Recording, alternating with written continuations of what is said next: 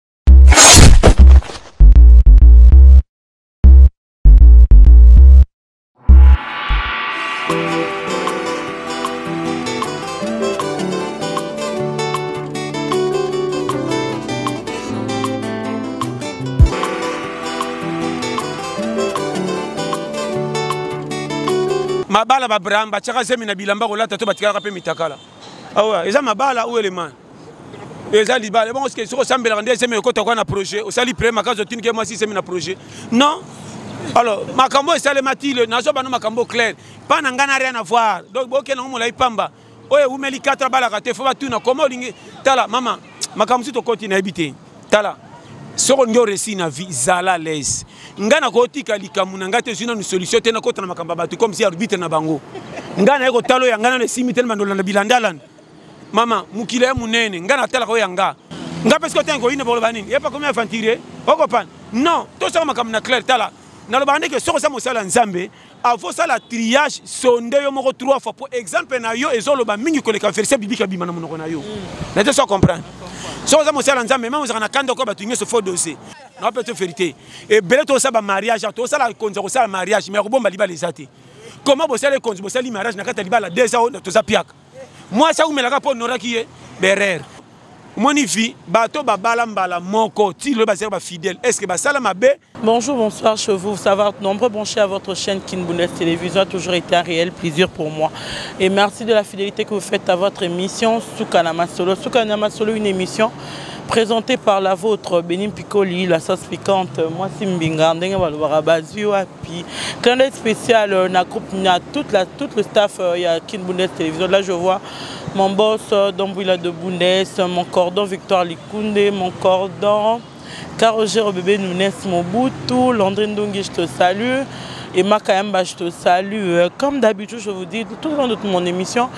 nayembelaka bino bato bolukaka nanabi ke bozalaki na mposa ya moto moko na kin bundes television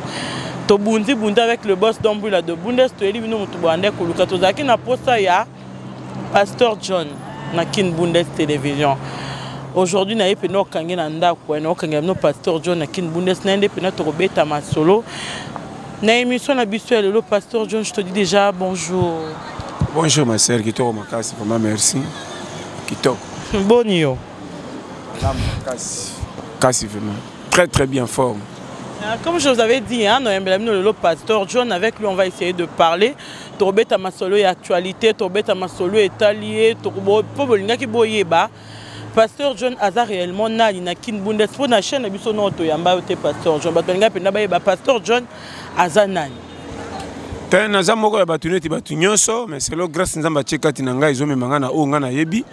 nde ezosala connaissance ya kofungola baninga oyo baza mpe na mwa kozanga koyeba to bayebaki me bakompletaki mingi te toza kose komplete kaka oyo mpe nayebi te nazwi do mokili eza balobaka comment dirais-je mokili eza biso nyonso tozocontribue mpo un mpe ya mokili ekende liboso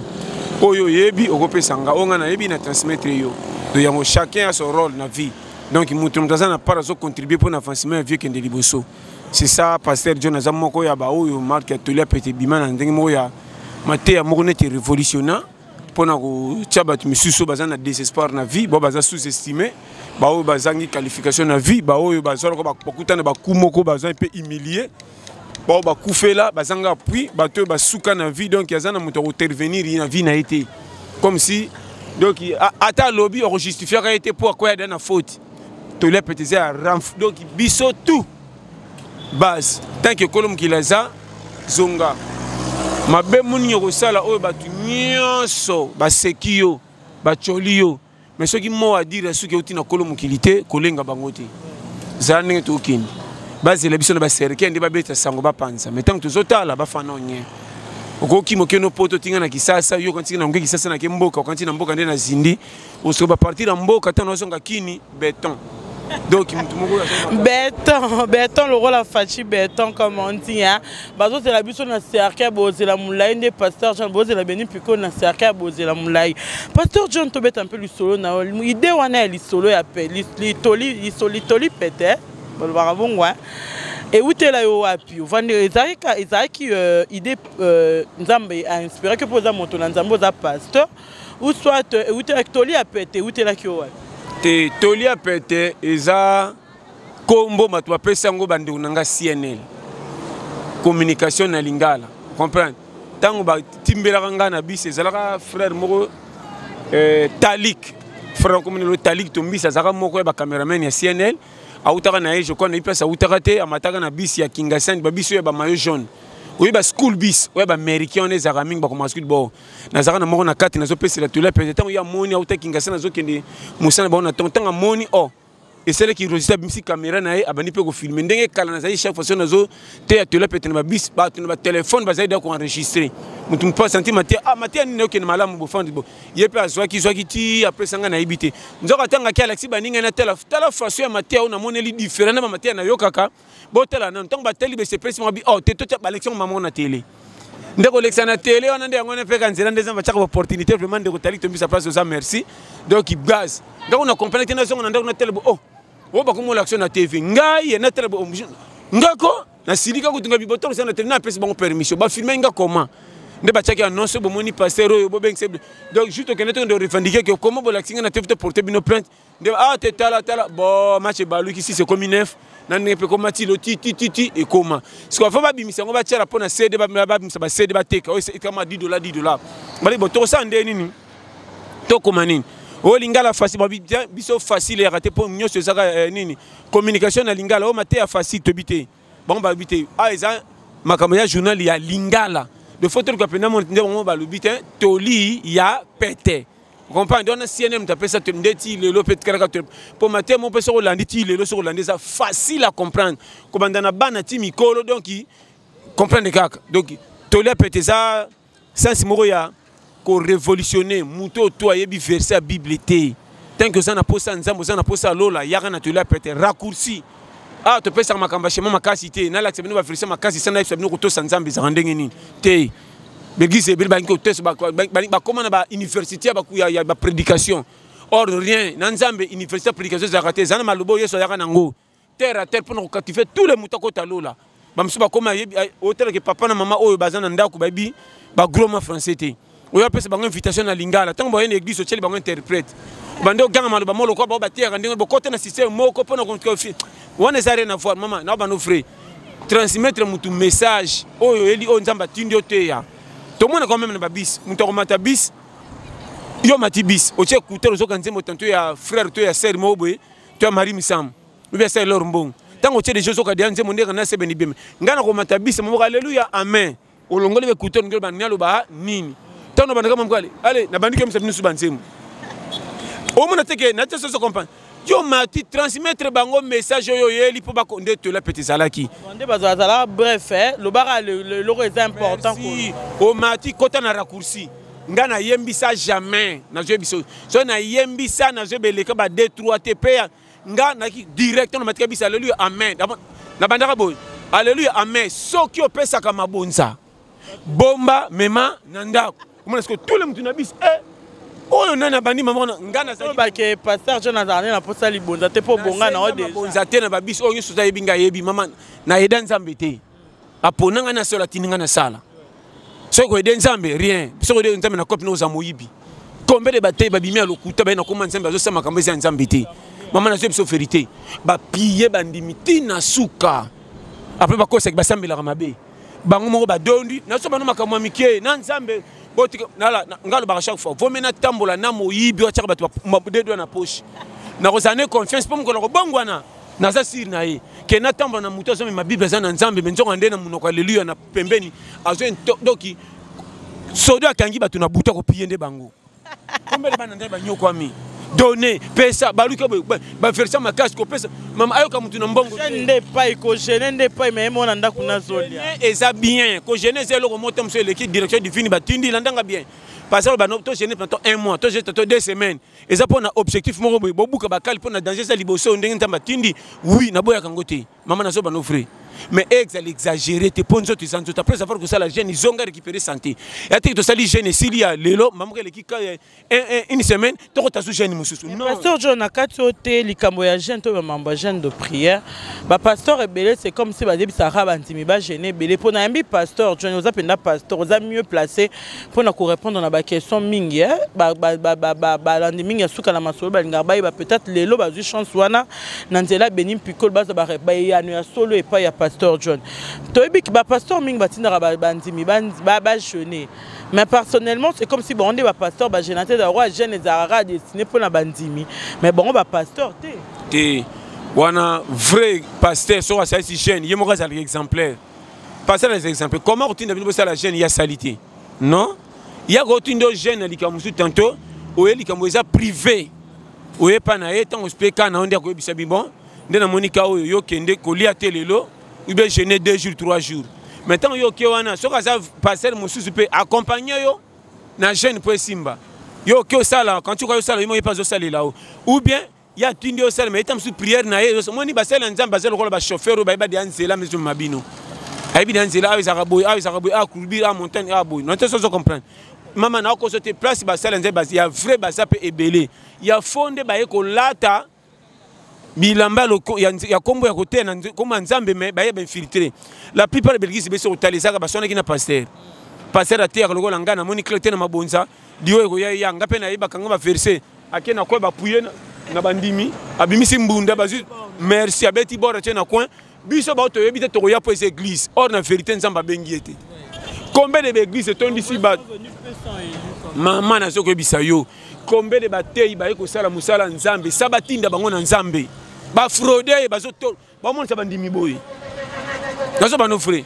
okamwa banda aloba likambo esimbaka te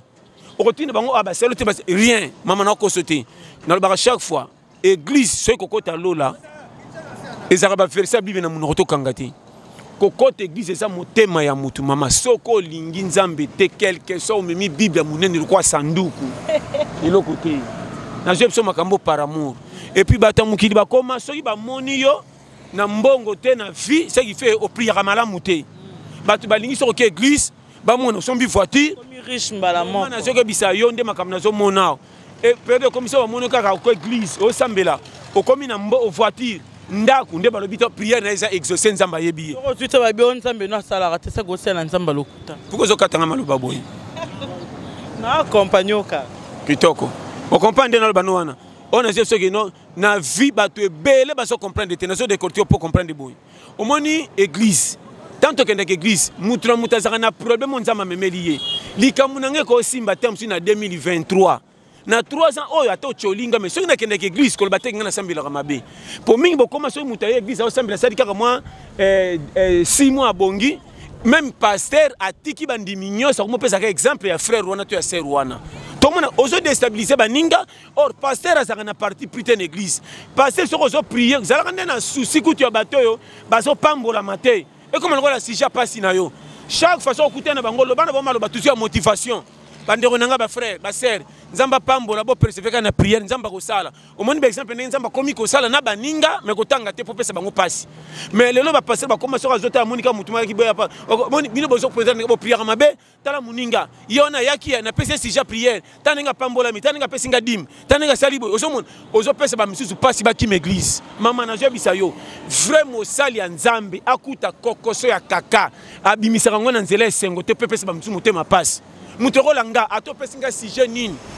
ata oyebisi nga yo nani mama natalaka na bate persevere tosambela nzambe mpo na kobonga te tosambela nzambe mpo na kokota lola oyo nazo biso vrai ngai nakota eglize na makambo kende nake nabonga te mpo lelo bakomisi nzambe lokola paris foot bakomisi nzambe lokola pmi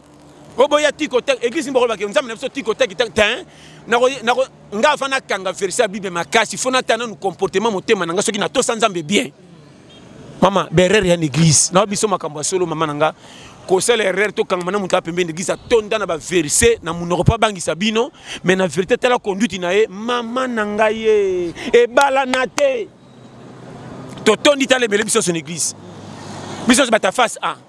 générique na générique mpo ntango moto mosusu asala prière ngai solo asala prière mama namona bato mosusu pembeni yango asala prière na kati na prière na ngai na bito oyo prière na ngai eza na mbuteyage ya eleka nano mpo bandimi yango yoka prière na anglais na français ah my god oh seigneur merci comme tu m'as exaucé biso bata prière na mangala eh! nga bata bokulaka nga na frena mpine na nga nakomi soki kokompane moto ya français mama namoni oyo yanga bakozwa ngo noki te wana eleki très bien taka aklasa priere pena doki anji soki ayoki falki oseka na 12 heures nga na freno priere na nga biso bato baseigne yaka nano ekozala ndenge nini na frene nakomi kokompane ka moto ya français abi kaka seyoka ngaka oh yes ondenga mpe na frodi ata na mutiage nabima landa cortège na priere mama nazokabisa yo tomona makambo awa me nzoka nde tu wana waya ndeko beta kalki eh, keba toli ya pete tous les moto ayebi kaka nzambe tosa ye yaka osambela nzambe okanga verse ya bible te yaka tokende lola eza ya biso nde toli ya pete nde toli ya pete pasteur john olamusi ngai eloko moko namoni dernièrement omoni pasteur azwi mpe namoni bouteille ya oil d'olive biso toyebi ke ntango tosombaka huile d'olive ezalaka batiaka marke ya ya huile tosombi na huile d'olive me motu pasteur moko ya biso ka ya kinshasa awa azwi mpenza huile d'olive mpenza azwi elongi na ye nde batiaka mpenza elongi na mafuta eto atie mpenza nkombo na ye pasteur na huile d'olive wana boya kosomba ndenge eza na elongi na ye wana eza onction bokomona bikamwa ya nzambe okoloba nini mpo na bato bazosala bapratique wana pasteur te soki eza direction divine ngai naboyaka te mama na makambo ya nzambe toboya te tondima te eya ndenge nzambe amemeli motu mpo so nakoti na karo mabe ntango mosusu nake kota na place oyo ezali direction divine azangisi kobikisa bato ya partir ya ndenge natelemeli nzoka nde eza direction nzambe apesi ye na bible tomona yango bapekisa mosusu balia nyama ekila te na israele mais pierre babisaki na kuzu boma lia sikoyo nzambe ayebisi alia me na eglise baliaka yango te ntango ye aliaki na miso ya baninga baya nini seke akomi mbindo keba na direction divine tolia pete lelo oyo batelemela ngai na bato combien lelo ezo continue kokende nayebisaka ba soki eza ya ngai ekokufa soki ekolo mokili botika yango sans verse sa bible ezokende kai na kwatu sikoyo ngai moko nayebi ke naza ya vrai selo nga ebele bakonte ezalaki naza ya faux sikoyo nani akondima nani nani aza na nana na te sozo comprendre yango direction divine mama naboyaka te ngai eloko natelemelela moto ya mokili azwaka foti te quelque soit erreur to kozanga na ye tika ye yo moto otyaki ye te piaka na ye kozanga na ye nzala na ye famille na ye yo ozala libanda na ye biyoma oyo asala pourkui akufa te ozopesa ye faute kokoma mpaka bakornopaka nzambe te okozala na mbongo ebele otya na banki nzambe atiki okufa okozala pota eglise osambelaka fasa nzambe abomi yo avant soki omoni moto anuni soki fe eza ainsi dit l'éternel eza ni corruption ni ange ni témoin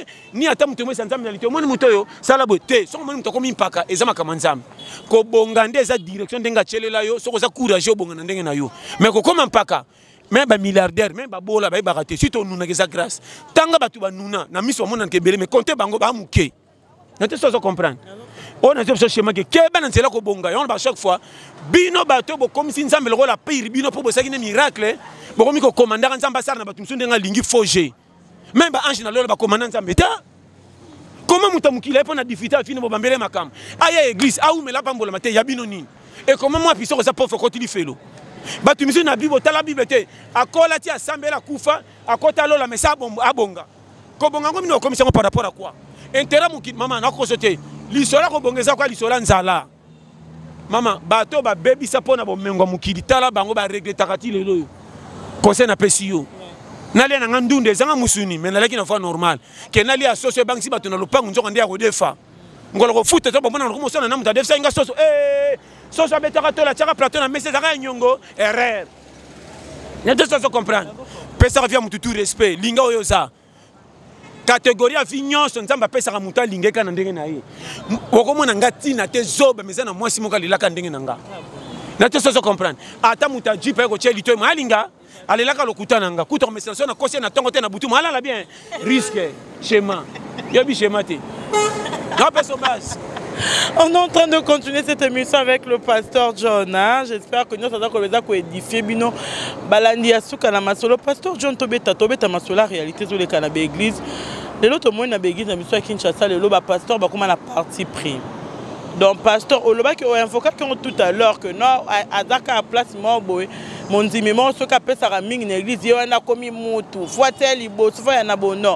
siko bangamba boria boria liboso mikolo nini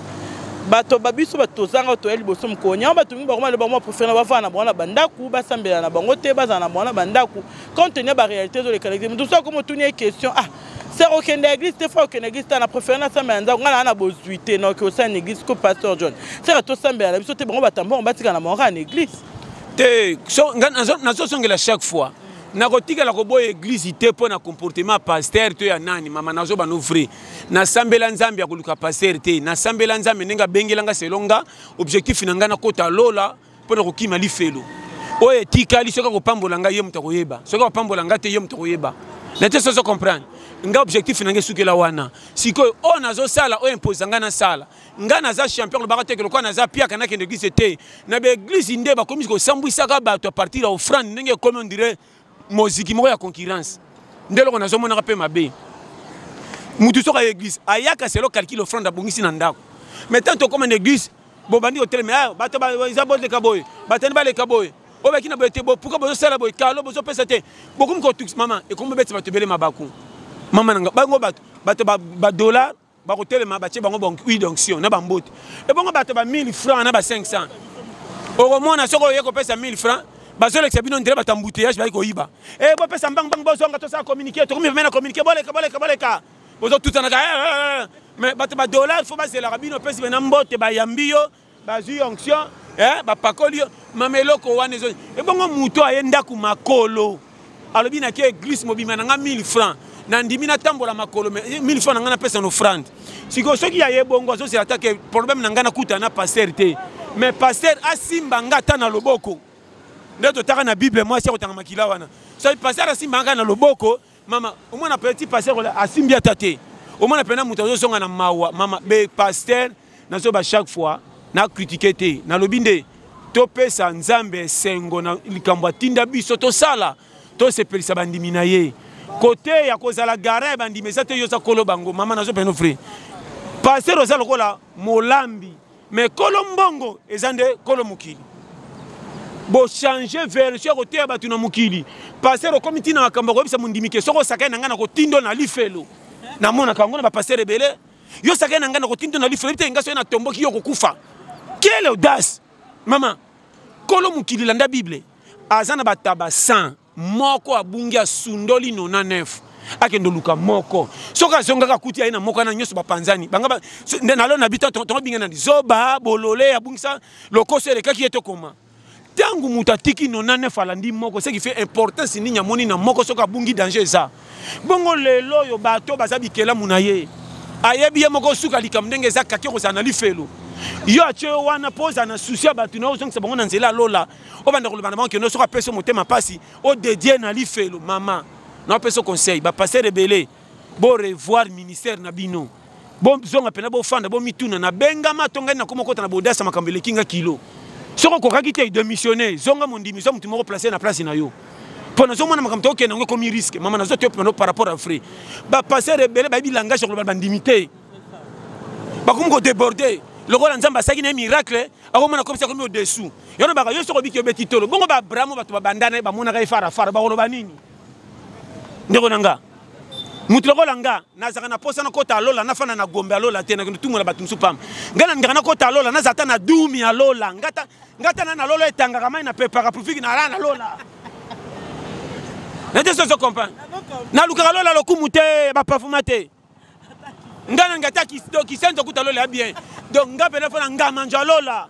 osanti mpena kote ebindaka bokotisanga naza nanga kuna ke viki nakoti lola na bokoluka ebelebe mama namonaka yango misu bazali awa nzambe elakisanga monene na yo moke nono alakisa yo ozalaka nango siri te alakisi yo ya monene obetisa lola kano tala bato nde basakanaka na mpi mama nazoyebisa yo na te soso comprendre nga biloko to nayoka ebetisa nga mabaku mama suka na nzambe na place amemeli yo kotiaka bato nyonso na motu teke lokola bato nyonso bakeleli seke balingami na nzambe te bafo enseignement na bino wana mama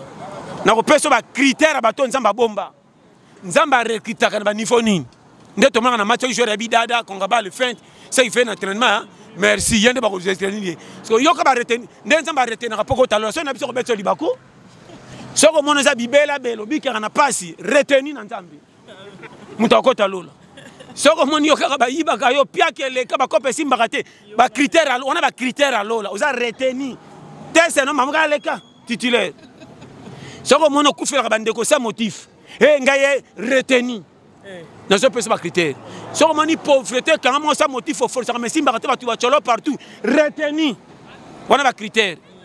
soki omoni osalaka bato malamu bazongi soki mabe mama oleke mobali aboya kosa motif osala tosemani kwa mabe reteni ayaka na nzela malamu te mpo ye avazwa moto atalaka baperformance okozala na famille riche mokuta na makambo mosusu oyo etalaka mbongo te ezoswaka yo azo retenir yo mpo ya lola mama bacritère ya lola selo mokili danger bato bakota na hôpital babeta ba 6 mois tant tokende hôpital tokama e eh, biyoma nini moto asalaka yanga ma na hôpital akufaka mpe te maza pa na yo na ngai libaku ozolekisa lere pambo na hôpital fala vivre or nzela nzambe reteni teste na ye reteni nayebi te soki ozo comprendre schéma wana bateste ya lola oyo napesi yo schéma siko soki oyebi te obulo ndire ngai naza baloka nga te wana ba critère siko balobaka nini azwaka bato selo nzela na, na ye okaka te banzela na biso eza ya nzambe te oyo napesi bakrite mama napesi shema soki omoni nzambe atingami yo kota lola eza chance moko nakosi yo te ata bakabela ozala 10 président na monde eya na valeur te oyo nayebisi yo soki omoni nzambe aretenir yo okota na bokonzi na ye epuis ye bango ye moto asala biso nyonso epuis ye moto apona biso nyonso epuis moto atria biso nyonso bato mi mingi nzambe asali biso na mokili mais alingi biso te naje soso comprendre wana mateya mona ndiko akota mingi te mpe obeti yo motu ye moko asali biso ye moko atindi biso na mokili mais ye moko atria biso ebele baye na mokili baza lokola baezau atindiki ye na zemi me alingi ye te nayebi te so ozo comprendre mateya oyo mateya moko compliqué hein ebele baza bazoseka basa donc aya misha akende kaka lifelo donc oya na yo tour foti na yo te obengama okende lifelo ngai nasala nini bacritère si omona soki oza ya nzambe na makambo nyonso kaka tandasa makambo ya malema ndo elanda yo kote baonyokola baninga omona mo osusi te botika boyeko heure mo bagafa omona ah osali mutu mabe heure koyeba otubeli na bano frais wana ba critère ya tendance ya nzela alingela yo oma likambo mosusu bato baosepela mabe me soki otali yesu ya yo ndeni moto wana bozoseka ye mpo akomi boye bino bozoseka bamawa wana mawa wana eza yo te elati yo ezotingama yo nazoba no verité omona okosala bagafe ezanga ntina ntina suka retenir yo abi oza ya ye otalaka te na histoire ndumba ya rayab abikisa basala nzambe ndako na ekweyaka base asalelaka mpe na kota bata mabe oyo mosu abalaki omonanga mpasi olingi makambo ya ndumba wi bandumba ndenge baza na bacontribue mpe na makambo ya francima lola nayinaki ndumba me nalingaka bandumba nayebi te soko comprendre chemin nayina mosala wana kindu kindumba me bandumba nalingaka bango mpo baza bato oyo ekolela ye nayebi te mobali akosa ye afente atika ye na mwana atali ndenge akolesa mwana eza te famille bayina ye mpo azwaka zemi ya loyenge akomi ne chel mpo alesa mwana na ye ou elemale boyedaki ye te eza nde mabe mpo na mosala azosala mais zozo alipa kolesa mwana na ye soki aza nduma mayele akosala ekonto ti akangi atiki akoti na galete to koteka biloko na wenze asa sortir mabe na biso toyebaka kaka mabe soki okuti na motu nde tocoli nzela ekomelaka motu mpo akoma na difite asala mabe nde tozalaka te motu mosaka oyo asenge 1000 fo boy soki bakangi ye moyibi kuna moto ya liboso akokende oceka ye or ozalaki na mbongo bai kopia ye mama nakoso te mokili oyo motema mabe eza kolanda boboto bato na monoko te batangaka lokola na nzembo na motema basalela te bato ebele opesa bango confiance nzoka nde balinga yo na mbebo na motema ofanda te oyo na baka ofanda na bato basepelaka na yo me balingaka yo te mpo moto asepelaka na yo so bokutana soko osa koseka soko opesi mokongo abandi kosasa omona mpenza keno alingi yo te yango moni fanda na bato balingaka yo me basepelaka na yo te moto alingaka yo jamai akosala yo mabe mpo alingi yo asepelaka na yo te tanto comportement na yo na ye mwa esimba eza te yango evitaka yo na biso vrai periode oyo toza o 2020 mama longola confiance meme ntina famille boya na bango ozala na bango mefra mai nani akododa nani oyebi te kokoma mpaka enamwisi omonanaka pete nzela kolekelela embouteillage batyela yango mbongo na banki bazela bakatana bazala piaka batyola bakokisa ba 95 ans keba na vie keba na vie tozo continue mise pasteur joni moyebi mambo ezoleka mikolo oyo ya bandeko no basali ya nzambe on va voir là le pasteur moïse mbi epo eza actualité fo tobeta liso mpo eza baninga na yo basali basali ya nzambe le pasteur moïse mbiye le frère michel bakenda na frère mike kalamba ye personnellement avis no ezani na mambo ezoleka oyo bandeko no basali na ndambe bazosala de l'autre côté omoni moïse mbiye ya eliane sere ya église aporte plainte ke abusa na ye pendant au moins 4 ans de l'autre côté frère mike kalambai sa femme asengi divorce mpo na infidélité et puis ya le frère michel bakenda mwasi ya poto apublie parce que bamesana osola na na video ye la femme asali ba capture a publier avis naye ntango omonaki en tant que basali na nzambe lokola yo esalaki yo ndenge nini esalaki eloko nini esali ngai a ah, moto ya mona mabala babraham batiaka zemi na bilamba kolata to batikalaka mpe mitakala awa ah eza mabala ou element eza libala ebongo soki osambelaka nde zemi ekota kwa na projet osali pre makasi otindi ke mwasi zemi na projet non alors makambo esalemati nazwa bano makambo claire mpa na ngai na rien avoir donc bokenda ngo molai pamba oyo ewumeli 4 abalaka te fo batuna koma olingi tala mama makambo mosusu tokoti nayebi te tala soki olingi oresi na vie zala lese ngai nakotika likambo na ngai te ezwi nanu solution te nakota na makambo ya bato comme si arbitre na bango ngai naye kotala oyo ya ngai nano esimi te na bandolanda bilandalanda mama mokili ya monene ngai natalaka oyo ya ngai kopengwa na bango ezopesa nga mayele na devie nzela mpo nakima nzela wana me naza champion te akokengelaka bango asalaki nini alobi nini te mpo bolingo ti etutaka motu nayebi te basala nzambe nyonso bazala mpe na baposa neti bato nyonso basango kutu basango bapesa bikila babalaka te me ntango balamukaka na 5 heure eyandukaka te e alors lokola bapesa yango bikila tie kokita ezongi normal te toke eza journée c'est ça ou elema longo opesa kaka na makambo oyo etali nga te oyo ekomeli bango ekomeli bango so bayokanaki te comprehension mafu nga mpe naza na kote naza nango tingam na te so azo comprendre e alors nga mpe naza na eh, mwasi na nga tozalaki ni awa kuta tofinga nga kala mingi te na ini ye nakomona mpe kofo mpe naboya ye naluka mwasi mosusu mosusu mpo ani efingeli wana na comprendre te naza innocent eh? akosaka makambo kofingafinga eza étrange nga kutu mama na bano frais sala nyonso mekotyola nga te kodenigre nga te ntango afingaki omoi naozo bano claire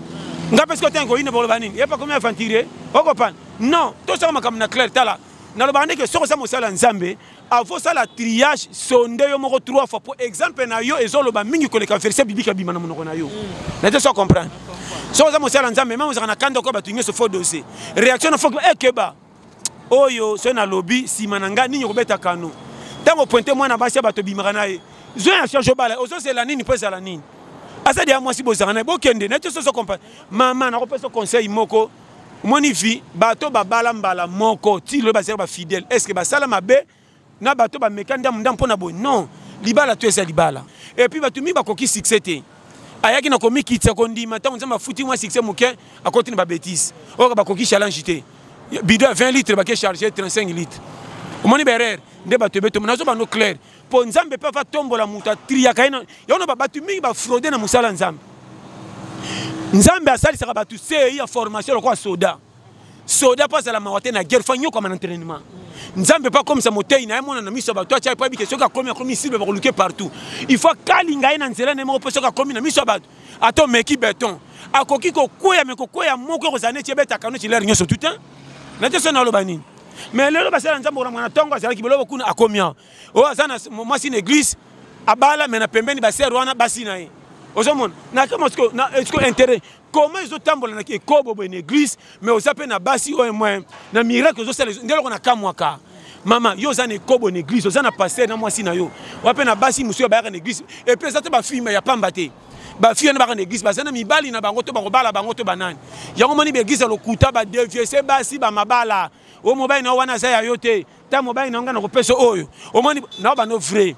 kombele bato babebisi vi yango nini audace lokola totosaka batosaka basali ya nzambe ala basali ya nzambe bamoni lokola neti ya sujet moko ya komanipule esprit ya bato mpo batya bango na kifunda moko abengi ngai na ngolo alobi nini pasa nazali na mwasi na ngai bandako moko na eglise akangami na mobali moko abetaka synthétiseur pasa na bango alobi ke mobali avi na ye ye wana mai ngai toumei na ye 4 ans nga mpe napesi reponse nini foti na yo oumisaki na erreur na yo epuis yo mpe comportement esimbaki te mwasi na yo alingaka ata mosusu masanga te yo moto ya badrink bino mpe bozalaka soki ozofunda mpo eyindi mpo basi mosusu bazo mama mobali azalaka ata bien mwasi basi bamonaka mpasi oka na famille na bino mela masanga te okutana mobali moko mama na kwiti ya tembe okosala nyonso olingaki ye combien de basi bazomona bamakambo nazobano frais afinga ya mibali mosusu bando finga mwasi ondima te mwasi ne propre mama bazali na ba chaque fois wana eza libala te libala eza de caractère ekutani ezosangana mpo esimba koma miseleke te bakanganaka mapangu te me bazalaka mpe fidèle nayebi te so comprendre alors mpo nazo bano baverité yokanti soso ya mobali ndenge akomaka pretre basoso ya basi batongaka ye mpe ntango bakenda kolala te batongaka ye omoni soso aza mabe tala soso akokorike bamaya koko mobali malamu wana basalaka réunion omana alesaka baninga bien est ce que basoso balukaka nde mama nao mpeso conseil ndenge biso totyaka matoi nde banyama batyaka matoi lito ya mobali ya furmi na lito ya mobali ya moto ezalaka ndenge moko po toko kifulumi bande bande esila te seke balingana batiaka matoi bana mpe bayaka papa nauti classe mikanda leta tout ejwaka role oyo na bapesa baperimetre yango na bapesa na vie est ce que nyoka mwasi na nyoka mobali so bapesa na bisi ezalaka bavene mpo babomana ekomi lera bolingo tire langi mpo baluka mwana azopesa bashema tala azoseka okobana nga très bien oyo na biso baperimetre soki banyama baleki biso na caresse biso bato ekozala ndenge nini nyoka azanga maboko mai ntango asimbaka mwasi na oka question e mobali na ngai asimbai ngai na suki ese maboko ya nyoka tomona caresse euti wa chemin folanda chemin en train de continuer cette émission. Pasteur John, petit à petit, aussi c'est but. Pasteur John, moi, conseil, moi, moi, question, Mouké. Est-ce que c'est possible, Naïtonga eglise ya monene ya mboko tozala na pasteur aza célibataire est ce que eloko wana eza permis uh, eza permis ou eleman oyo abali te asali mie oyo abali asali bien eza normal kolo mokili ayaka ti azonga bima na nani natuni yo kaka eza ndenge ayaki mission na na priye toyebi ke bomultiplier vous mais soki oboti mpe te obali te osali mabe te mama botyaka lisumu na place eza te tala toluka oyo ya siri tolanda milinga na misu te tokobela misu na liputa kopupola luka koni ya milinga zipa mai nyonso ekosila tokoti na bakaro etali biso te nalobaka chaque fois na oyo abala avant abota bana mwana asuka akokisa 25 ans mwana liboso akomisa na ba 40 ans na oyo aza meme age na ye akobota mwana mikolo akokisi 2 mois ntango bakokende na réunion bato babota batuni banani babota oyo ya mwana 2 mois akoboya kobatombola mwana ye na retard ye mpe azaka mobo alors vie eza na retard te mama na opesa conseil tala objectif ya vie pointe place oyo nzambe abongisi lipa na yo ya chaque jour oyo ekobomba motakala na yo na ya bana pointe qualité ya charge makoki nzambe apesi yo na charge oza na yango équilibré koma bato ya mbongo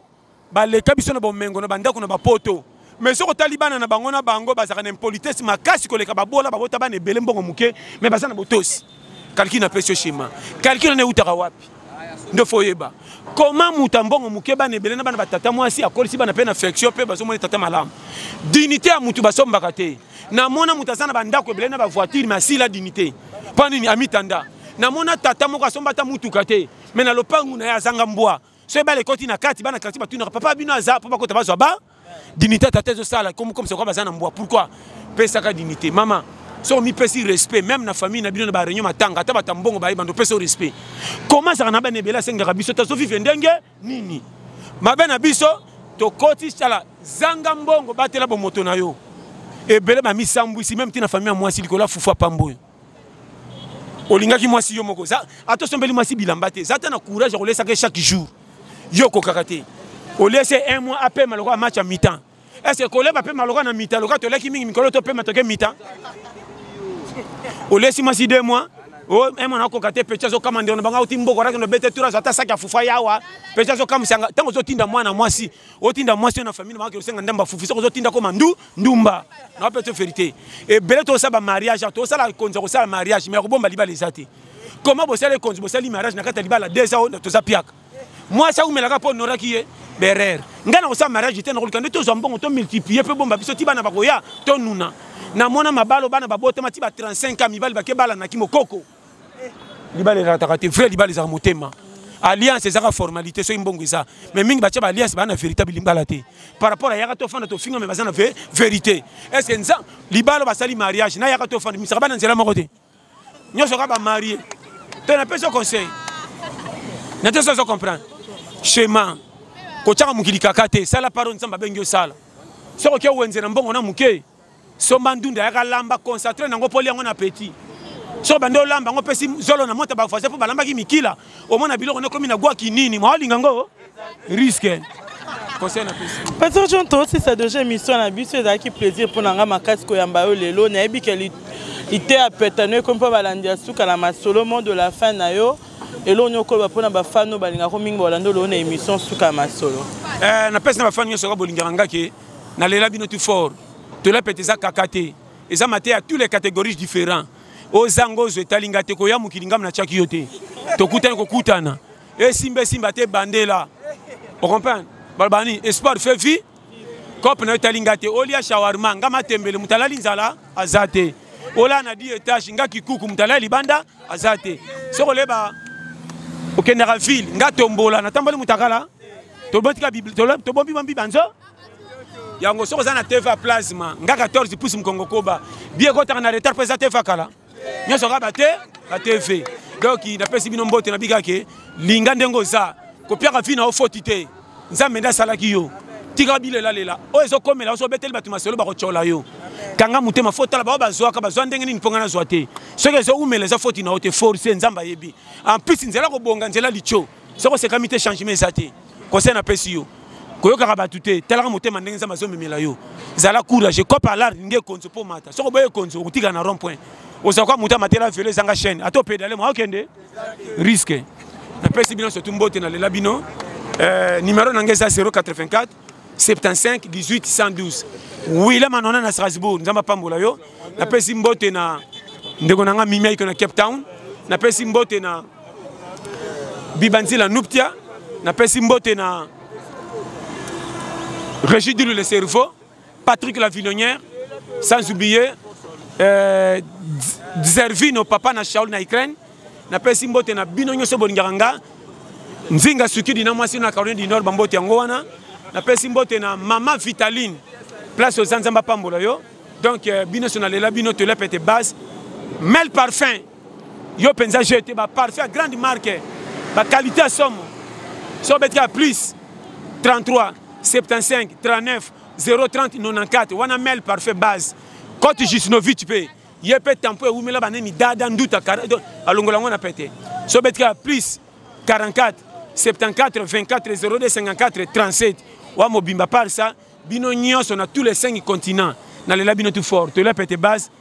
nzambe apambola na chaîne na biso ya kin bundes tv kin bundes tv bosabone massivement awa chaîne na bino yango oyo tolia pete mikolo tozali awa nakanisi mbala nsima nakopesa bino na kin bundes tv tolia pete ya ndenge bambisi bavivaka na mai est ce que tous le mbisi nde bavivaka na mai bazalaka na chambre ya salon misusu bazalaka yengayenga libanda sikoyo mai mpe etyolaka kaka epemaka te ntango bambisi balalaka basitukaka batyoli na ntongo to bapikemaka place moko nzambe apambola merci beaucoup motu moko abina biso alingako mingi ya eh, jojo lubenga aza na canada abina biso mpenza eh, nayesaki noyamba pasteur john lelo abina biso alingako mingi pasteur john jojo lubenga te napesi yo mbote jojo lubenga place oza nalela bino tu fort tolela petise ya biso tu donc eza basi ngai nde omoni ngai barole na ngai mese zero zero azalaka chiffre bakontaka ye me balingaka ye eh, te mpo so osengi zero ma bapesa eloko mais so olingi osenga mbongo na ofo otondisa zero na nsima bapesa chiffre na yo ki kilo base Baza, c'était là votre émission sous Kalamasolo. J'ai reçu pour vous aujourd'hui le pasteur Jonas. Avec lui qu'on a essayé de parler tout au long de, de cette émission. J'espère que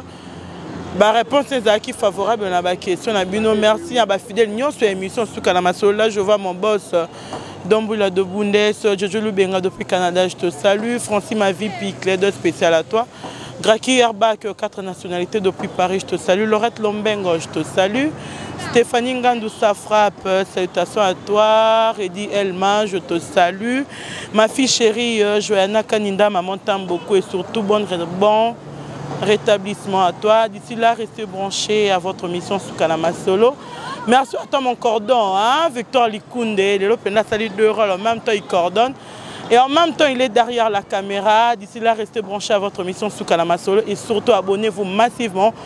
à votre chaîne Kinbundes Télévision. On se retrouve très prochainement avec un, nouveau numéro et surtout pas